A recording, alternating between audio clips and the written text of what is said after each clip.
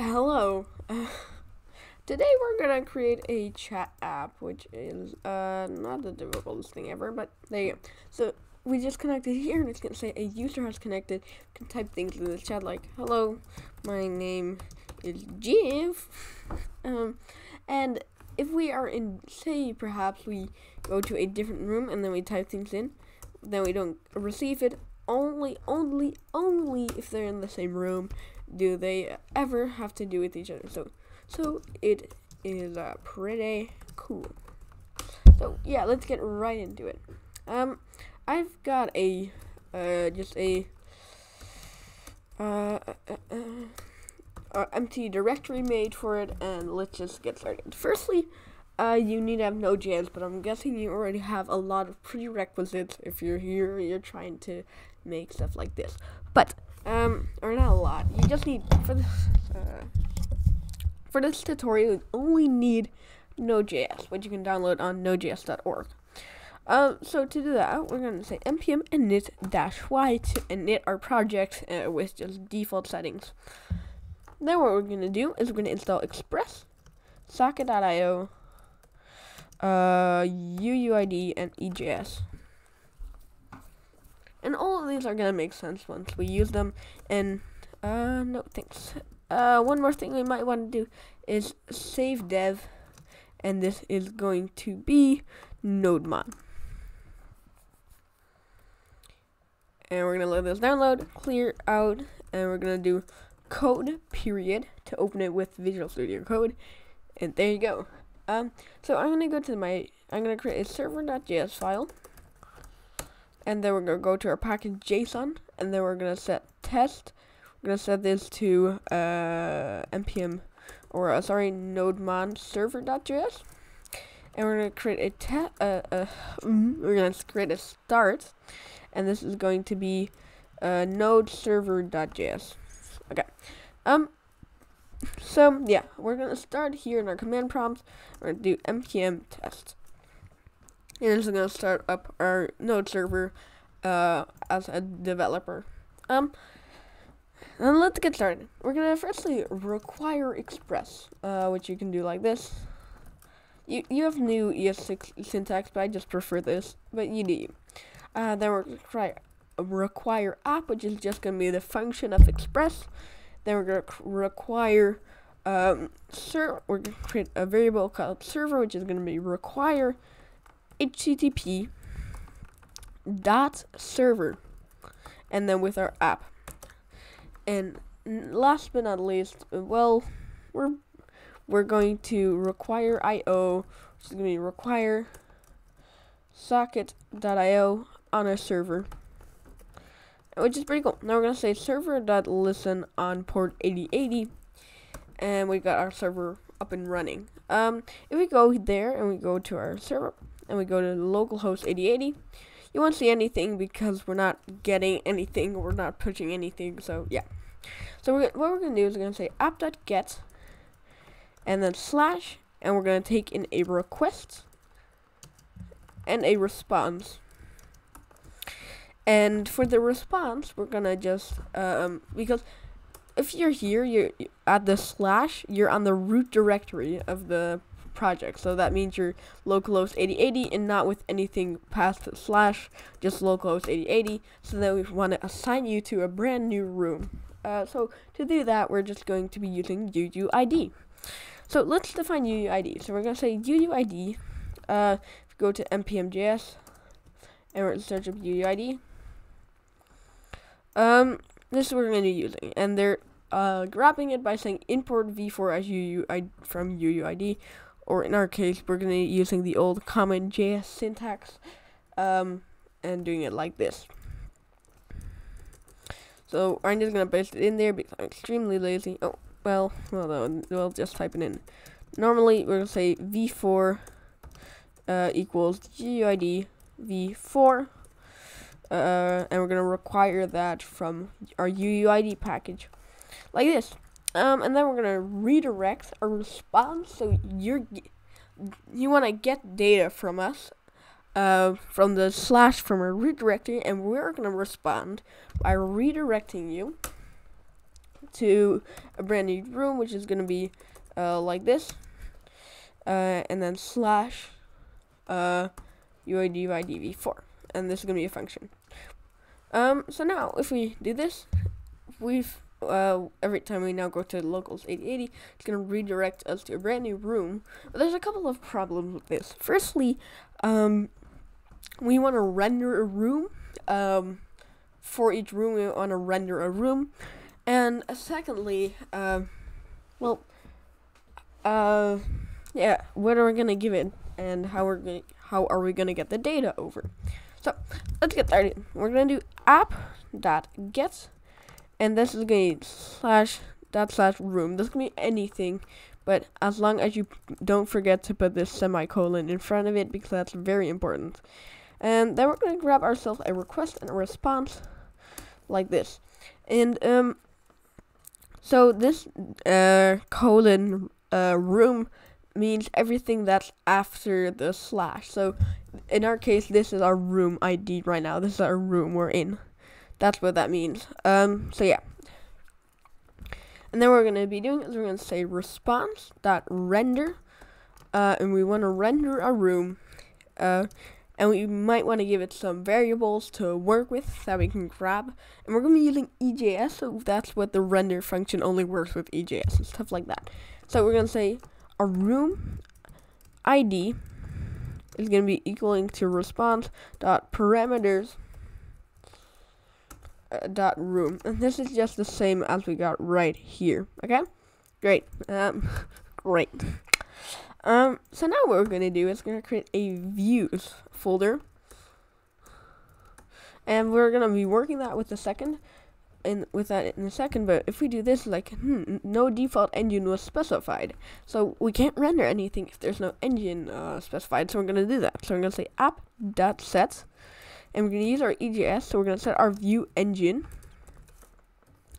to EJS, like this. Uh, and now if we do is going like, there is no room in the views directory, so let's create that. So we got our views directory, and then we want to create a room. And now if we just do uh, uh, exclamation point and then tab or enter, it's to create uh, a brand new just boilerplate stuff and say like test and we can probably also console.log our because we're using EJS, we can use EJS syntaxing, which is uh hella cool. Uh, so it can just be like room ID, uh, uh, uh, like this, I'm guessing, and then this is our room ID, and you're like, okay, but how do why is it how does this work? But the room ID is given. This is the room ID. It's just uh give given through the uh server server. Uh. So yeah, but we want to make that a variable, so let's do that real quick. So we're going to create a script, and then, then we're going to require our room ID to be uh, that room ID. So yeah, so this, so uh, so this, so yes, yes, I'm saying a lot, but with very little uh, meaning to it. So yeah, we're gonna use our syntax like this, but this isn't gonna work and why is it gonna isn't it gonna work? Because we're gonna put it in between semicolons. And now, um, we now go here. Um, or not, we don't need to put it between semicolons, sorry, between, uh, apostrophes. And the, now if we specify a room ID, that's the same thing that's here. Amazingly cool. Amazing. And I'm also gonna call this a chat program right here. You can call it whatever you wish, but yeah, I'm gonna quickly test if I'm recording. I am. Great. Um.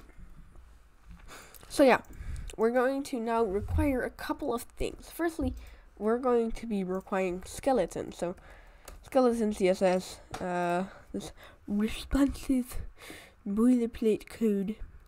Uh, it's amazingly cool actually, and it's um, it just yeah, it's pretty clean. And that's why we're going to be using it for our project. It's like intro, code, code, like list, examples, more, browser. So yeah. So this is what we're going to be using. I, you want to grab your file, uh, our skeleton file from the CSS, and the skeleton. I'm going to be importing it with my file, which you can do right here by just saying, uh, let's clear this, and then be like explorer period, which is going to open up uh, explorer with the current directory. Then you can go into, uh, I'm going to create a public folder for this, and then we're going to import our skeleton. Great, now we can restart this, uh, or start this again, and then we can stop worrying about it, and it's gonna work.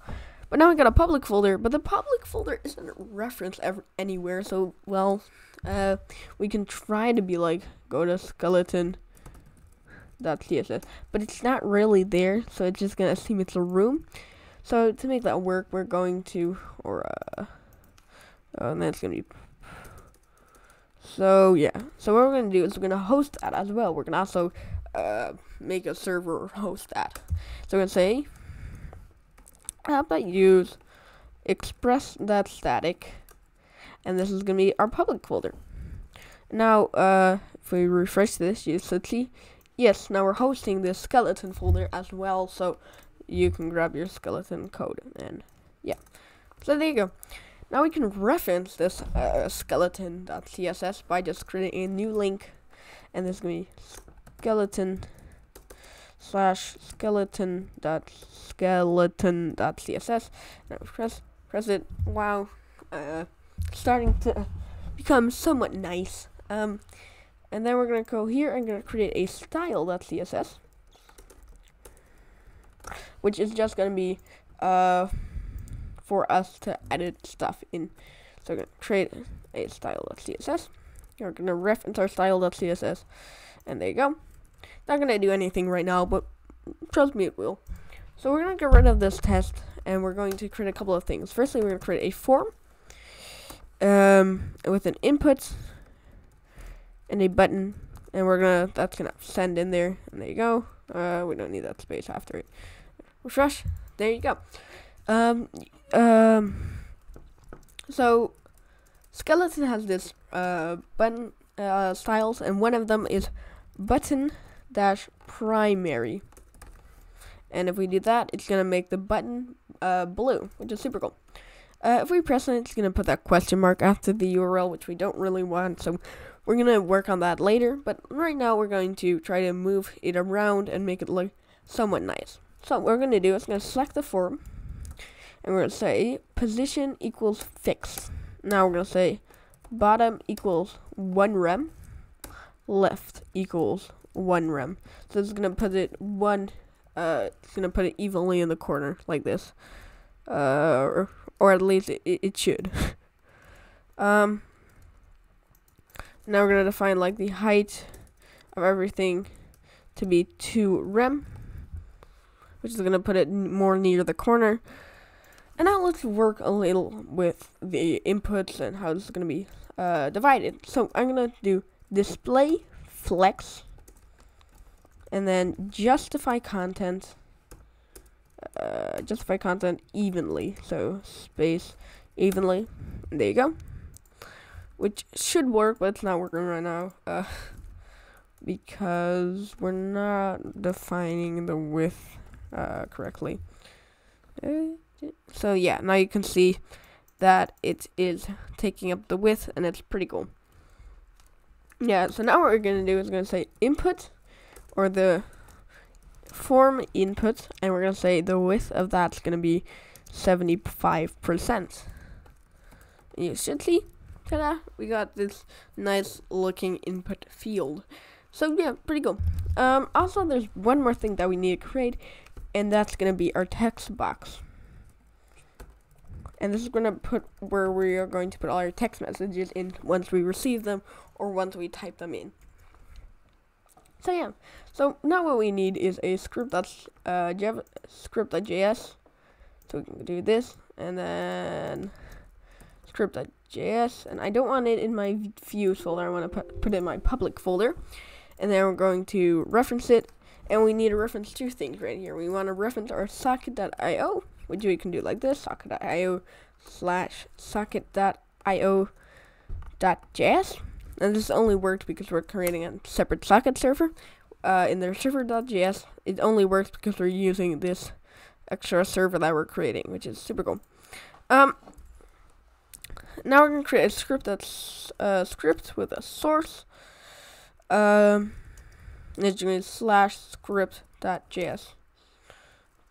There you go. And now what we can do is we can do start working on our JavaScript code.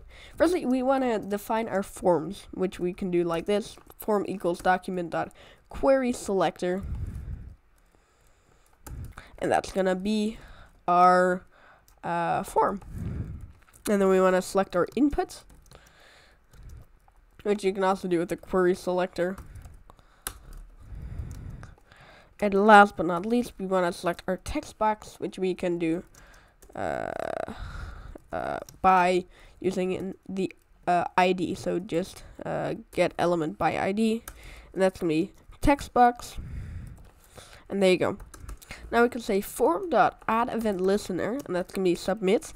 So every time the form has been submitted, we're gonna uh, make a function with that event, and they're gonna say e dot prevent default. So don't go to that question mark after the website. If I say hello, uh, probably need to refresh. Hello.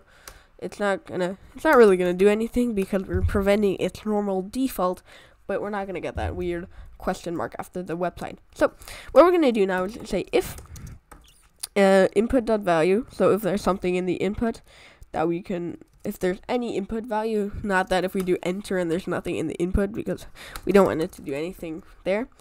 Um, what we want to do is we want to say, hey, create a new element, push that onto the screen, and uh, call it a day. Um, so we're gonna say const element equals a new document that create create element and that's gonna be a p like this. And then we're gonna say const and then we're gonna say uh, element dot inner html and then we're gonna set that to the input dot value. And then what we want to do is we want to push that onto our text box. So to do that we can say text box dot append our elements. Now that kind of pushes it to the screen, and now if you say like hello, can say hello up here. We're gonna work a little on that, but it, it's getting there. Firstly, we need to clear this out. To do that, we can just empty it into a new, make it a new string. And now if we say hello, it's gonna empty out the uh, text box or the input box. Second thing we want to do is firstly clean this up, move this more to the right, but also specify if it's uh, sent by you or by someone else. So to do that, we can just uh, turn this into, uh, put this in between uh, tildes, or not tildes, those left-facing uh, uh, apostrophes, something like that. And then we can do this slash, so arrow B, then we can use the HTML syntax to bold things up, which you can do like this. And then what we're going to do is we're going to do dollar sign and then this in between, uh, some eh, in between, why, not everything, not everything, unless semicolon, curly braces to define that this is a variable and should be printed out as input value. Now if you say hello, it's to say you and then hello. And then what we want to do is we want to move the um, whole text box uh, a little to the left. So that's to be margin left and like six and a half percent. Now we say hello. You'll see, ta-da, we got it saying hello. It's above it. It's super cool. Super nice. Let's uh, work further on it. And like why six and a half percent? Well, firstly, this takes up uh, 75, then uh, this is roughly 12, uh, like, this is roughly 12 and a half, and this is 12 and a half to get the, this together is roughly 25, and then this is 12 and a half, and then this is six and a half. Something like that. it's just, uh, I guessed a little, and it, sound, and, and it seemed right. Um, so there you go. Um, but you're not receiving text messages from anybody else, is it? So we want to make that uh, happen. So when we send the message, we also want to send something with sockets, but we don't have any socket connections uh, created, and the server's not really listening for socket connections. So let's make that happen. So we're gonna say const socket uh, equals IO. And now if you go to the server, and we can say socket or IO.on connection. Uh, so on a connection like this, we want to do some kind of callback, which is going to be uh, socket. It's going to be an unnamed function, and then we can like console.log. Uh, a user has connected, and then um, with the socket that ID. And there you go. Now, if you refresh this, you'll see in the console that a user has connected. If we refresh this again, you'll see that an, a different user is connected, which is actually the same, but uh, it sees it as something different, uh, which is pretty cool. But that lets us now we can now as our socket we can send stuff. We aren't connected to any room yet, but let's say we just want to send stuff globally and not over different rooms just yet. So we're gonna say is we're gonna say socket uh, socket dot emit a message uh, and what do we want the message to be the input dot value and now what we can do is we can in our socket code we can receive that message and we can console dot log it which is super cool now if I refresh this and we look at the console and I say like hello you'll see in the console it's gonna say hello right here, and I can say like uh, cheese, and it's gonna say it says cheese. Yeah, it says cheese. There you go, cheese. Um, which is pretty cool. Now we want to send. Virtually, we we don't want it only to say cheese. We want to uh, make sure it sends it to the other clients that may be online at the same time. So we're gonna make that receive that message, put in the variable message, and create an unnamed function. Um, for some people that don't know the brand new arrow syntax, or it's not the brand new, it's already a little, it's a little. It's it's almost like doing this, and I'm not sure if VS, VS Code not gonna correct me in any sense. It's gonna, sure, but it's like doing this or uh like doing this. Uh, but yeah, it's pretty cool. Now we can say like uh socket dot broadcast dot emit under the namespace message the message. And what does this mean? Well, it's, it's uh, socket or broadcast is a um is, is is a condition. It's like send it to everybody but the socket itself. That's what socket broadcast means, and then emitting is just well what it means. It's emitting it to all the clients. And now uh, we're not gonna we're not listening to it as clients, but we can do that right now. We can say like socket dot uh, on a message. Um, we can receive that message, and we can actually virtually do the same thing as we are doing right here uh, with appending it to our text box, but just a little differently. So it's not going to be input.value, but it's going to be our message that we are going to input into there. Um, and it's not going to be you here, but it's going to be like, uh, let's say like guest, and we're appending it. And that's actually roughly it for all the uh, changing and stuff like that. If we now go uh, to localhost 8080 and we say hello here, it's not working. Oh, it is say hello here, and can say hello here, and it's receiving back and forth. Super cool. We're not really working with rooms yet, so let's get that started. Um, uh, so to do that, we're going to, uh, when the window is loaded, we want to, we want to, um, when the window is loaded and we want to join to the socket. So we're to say uh, we're gonna want to join to the IO server uh, in some sense. So we're gonna say socket dot join under the namespace join or this no this is socket dot join here. It's socket dot emit join. And then we want to, uh, what do we want to emit with it? We want to emit the room ID.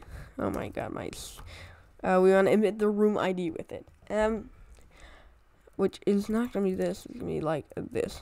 There you go we want to emit the room ID uh, when we're, and then we want to link our socket to that room ID. So what we're gonna do is we're gonna say socket dot on join, and then we're gonna say, uh, we want to grab the room ID, and then we want to say socket dot join, uh, the with that room ID, and there you go. And now if we set instead of saying socket dot broadcast dot emit, we can say we need to broadcast it to uh, the room, which we can do by uh, every time we send the input value, we also only not only want to send the input value, but we also want to send the room ID where we're in right now. So we do that by saying content dot input dot value and uh, room ID equals room ID.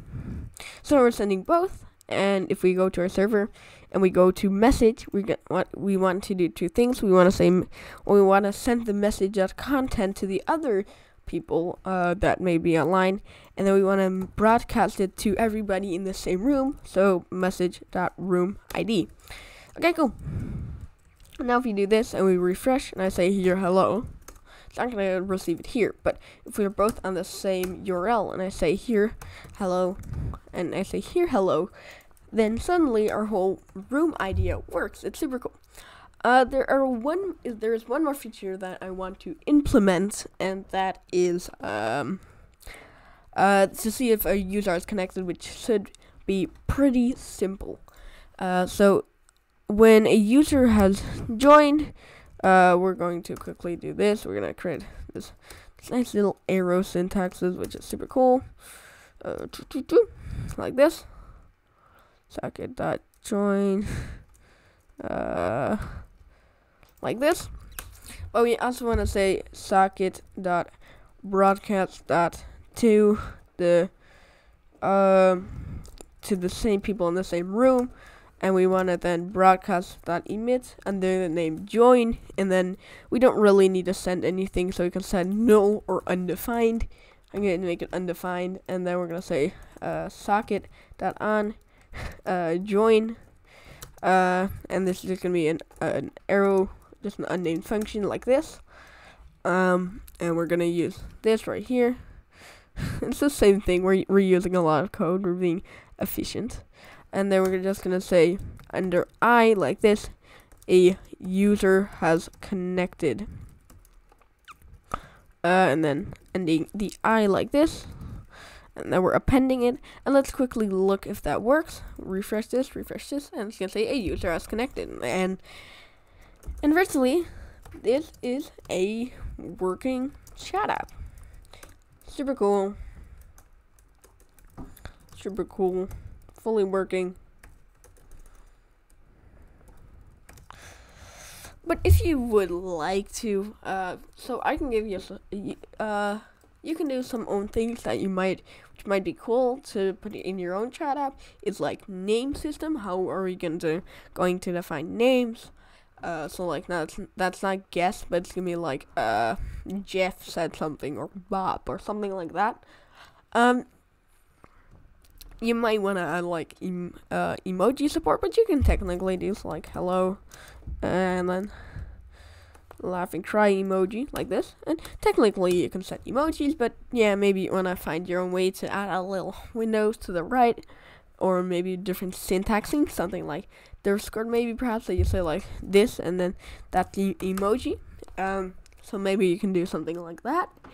Um, so yeah, perhaps see what you wish to do. Uh, names, possibility possibilities are endless. You could add uh, database database support. You can add uh, authentication. It's a chat app. You can do a million things to it. So, yeah, that was my tutorial on this. If you wish to do uh, more, or if you wish for more tutorials, leave a thumbs up. And uh, that was it for today.